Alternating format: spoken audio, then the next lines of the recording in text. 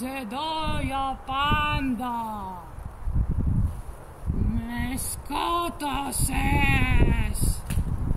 Δεν θα ξεφύγεις ποτέ.